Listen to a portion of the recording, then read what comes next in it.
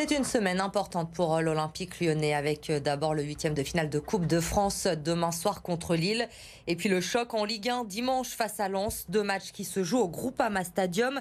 Un avantage a priori pas sûr si l'on prend les dernières stats des Lyonnais hein, qui restent sur deux défaites et un nul à domicile euh, en Ligue 1. On met de côté la Coupe de France. La dernière victoire, c'était avant la trêve Coupe du Monde contre Lille, justement. Même au contraire, ça devrait être quand même une force de jouer à Lyon, je pense, non? Je sais pas. Euh, jouer à domicile, ça a toujours été une force pour les clubs. Donc euh, oui, le contexte est difficile. On sait tout ce qui, s'est passé. Voilà, il faut aller de l'avant, il faut gagner des matchs. Et il faut être conquérant, on le sait. On essaye de, de, l'être.